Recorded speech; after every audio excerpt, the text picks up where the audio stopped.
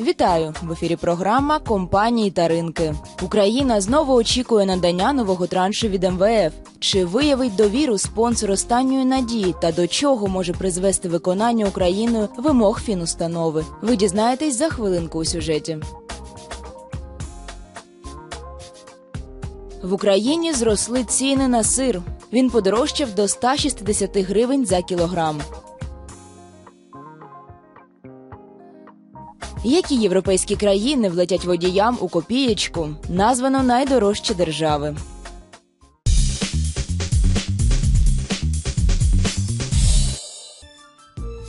В найближчий час Україна може отримати черговий транш від міжнародного валютного фонду у розмірі 1 мільярд доларів. В уряді сподіваються на те, що всі попередні домовленості будуть досягнуті у кінці лютого. Прем'єр-міністр України Володимир Гройсман зауважив, що очікування щодо можливостей в плані проведення реформ, яке відстрочує підписання меморандуму з МВФ, повинні бути реалістичними. Вопрос не в транше, не в сумме. Сумма – это условность, условность, которая упала на счет, э, ну, скажем так, в международный резерв там, в размере миллиарда. Она ничего не решила, по большому счету. Но в то же время она говорит о том, что такие страны, как Соединенные Штаты, Великобритания, Франция, которые э, имеют большинство голосов в Международном валютном фонде, они доверяют стране, страна двигается в сторону реформ. Соответственно, частный инвестор, то, чего у нас нет, как бы об этом не говорили в прошлом году, а, о том, что у нас чистый приток иностранных иностранных инвестиций, это все ерунда, потому что основной приток иностранных инвестиций э, был в финансовом секторе через докапитализацию банковских учреждений, где материнская компания была не резидентом. МВФ в свою чергу пообіцяв провести засідання по Україні після доопрацювання меморандуму про співпрацю. Однак на процес узгодження неабияким чином може вплинути США, оскільки голос Америки в фонді вагомий в цьому році Україні складніше буде отримати жадану суму через зміну зовнішньої політики Трампа. МВФ висуває три умови для всіх країн: знизити дефіцит бюджету, стабілізувати валютний курс і провести негайні структурні реформи. Серед них найважливішими вважаються земель земельна та пенсійна. Давайте исходить из того, что, скорее всего, не стоит называть это жертвой. Рынок земли должен существовать? Да, должен. Ну, я как собственник, я имею право распоряжаться своей собственностью. Если я являюсь собственником земли, почему я не могу ее продать? Неважно мои мотивы. Может быть, я не ну, перестала мне быть интересно ее обрабатывать, эту землю. Я хочу отдать ее в умелые руки. И это не обязательно должно быть арендой. Какая аренда? В размере 100 долларов в год она спасет мне, ну, мое материальное положение? Независимо от требований МВФ, рынок земли Украине необходимо вводить в легальную плоскость и запускать, принимать соответствующие законодательные акты.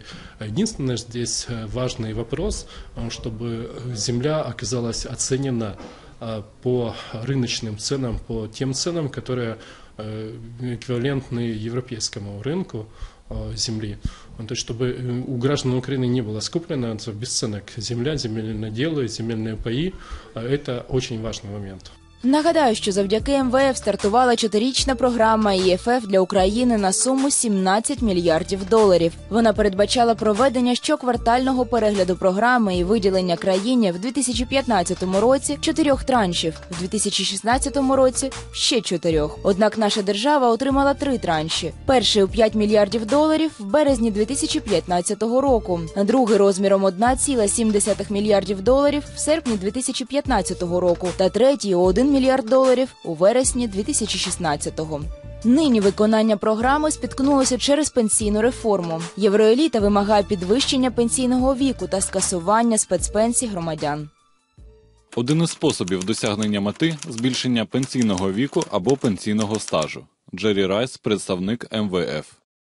Если мы говорим о пенсионной реформе, э, менять систему пенсионного обеспечения, ну потому что э, то, что требует МВФ, оно обычно больно. Больно для экономики, той экономики страны, которая, она уже традиционная и мы привыкли так жить, да, то есть мы привыкли о том, что мы постоянно ждем повышения минимальной пенсии, мы не привыкли к такому понятию, как э, солидарная, э, ну, как накопительная система, в которой вы инвестируете во что-то для того, чтобы получить прибыль. Это все противоречит менталитету нашего населения.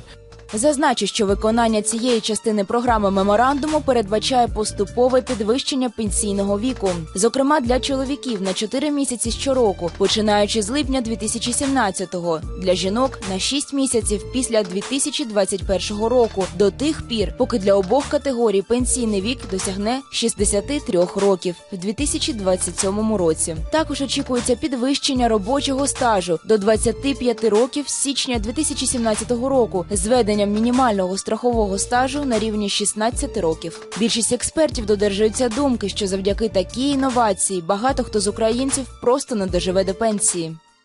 В сотий раз повторюю позиції влади. Пенсійна реформа має бути і сподіваюсь, вона так і буде проведена.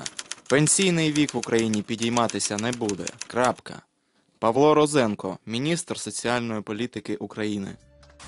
Актуальним залишається питання, що буде в разі неотримання Україною траншу від міжнародної фінустанови. Спеціалісти в один голос кажуть, що імідж країни в цьому випадку буде практично знищений. Виникне недовіра з боку як світового товариства, так і з боку потенційних інвесторів Это не чистые иностранные инвестиции. Мы хотим модернизировать промышленность за счет иностранных инвестиций. Они не придут сюда, в ту страну, в которую не доверяют даже такие спонсоры последней надежды, как Международный валютный фонд.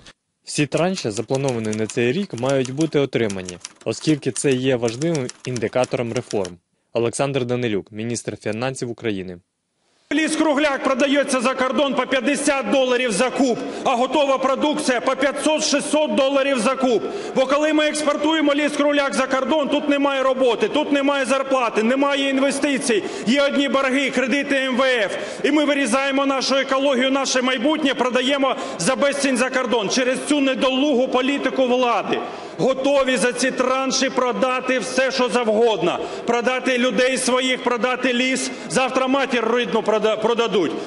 Зараз головним завданням України має стати завоювання прихильності у сторонніх вкладників. Треба змінити економіку таким шляхом, щоб державний ринок став відкритим і привабливим для інвестора. А ВВП, який генерується всередині держави, був достатнім для того, щоб Україна змогла повертати свої борги, не позичаючи грошей. До того ж, країна мусить створювати продукцію, експортувати її, а потім генерувати виручку для ліквідації боргів. Саме такий ланцюжок дій зазначається у меморандумі. Не припустимо відміни мораторію на експорт лісокругляка. Треба створювати робочі місця в країні з продукції, робити готову, е, готові вироби, наповнювати бюджет і платити пенсії з цього, а не за рахунок кредитів МВФ ставати банановою колонією.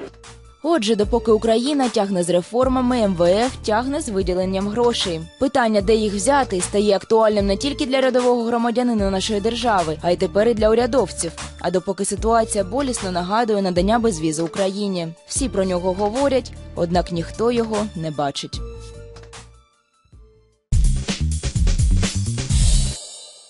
В Україні подорожчав сир. Його ціна за кілограм зросла майже до 160 гривень. У порівнянні з минулим місяцем показники стрибнули на 7,7% до 158 гривень 50 копійок за кілограм. Такі дані наводять аналітики Асоціації виробників молока. За їх думкою, підвищення вартості даного продукту пов'язане із відновленням на світовому молочному ринку, а саме збільшилися обсягу експорту молочних продуктів, зокрема сиру і масла.